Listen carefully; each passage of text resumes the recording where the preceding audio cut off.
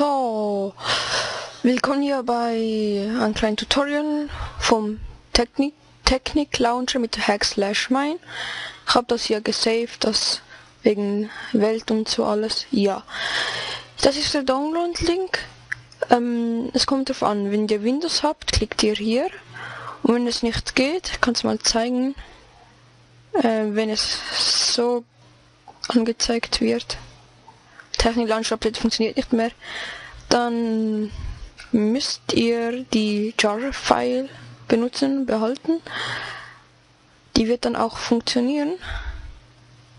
Ja, dann klickt man, sie geht auf, Technik Launcher. Ja, am Anfang sieht das so aus.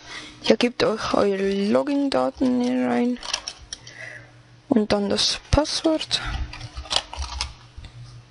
Und remember, hier kann man die Mods auswählen zwischen Technik, Ticket, Jukebox, Hack, Mine. Das ist das, was ich spiele. Oder Vanilla, das ganz normale. Nehmen wir den Ticket. Warten wir. Und Logging. Jetzt ladet das alles automatisch hinunter und updatet es auch. Ja, kann ich noch sagen? Ich habe ein Problem beim Mikrofon und ich keine Ahnung warum. Wenn ich aufnehme, dann nimmt es nur die rechte Seite auf und ich weiß nicht ganz warum. Ich verstehe es auch nicht. Äh, nein, die linke Seite nimmt es nur auf und weiß ich auch nicht. Hier nimmt es hier downloaded. Ja, bla.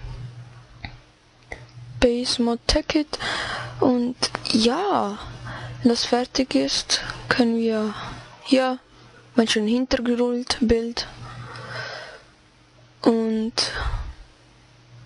schauen wir bis fertig ist. Ja, es braucht, das sind glaube 42 Mods im Ganzen und es braucht schon eine Zeit, bis alles geupdatet ist. Und das ist der Download-Link.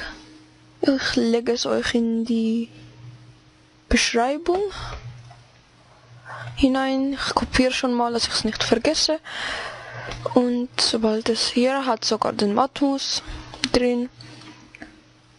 Und wenn ihr wollt, dass ich ein Tutorial zu den Mods mache, jeden einzeln, kann ich das gerne machen.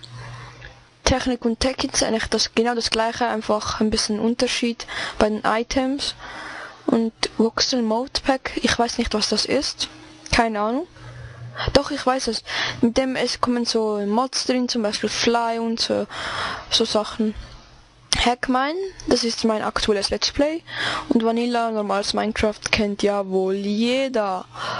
Und Techit Configs, los. Ah, fertig. Jetzt startet es so. Startet es. Und warten wir so. Das ist Ticket. Ich kann es euch mal zeigen, wie es aussieht, wenn man drin ist. Mm, ist eigentlich recht cool. Ticket. Ich habe sogar einen Server davon und habe schaut 41 Mods. Optifine ist drin, Microsoft Forge und es spielt auf 1.2.5.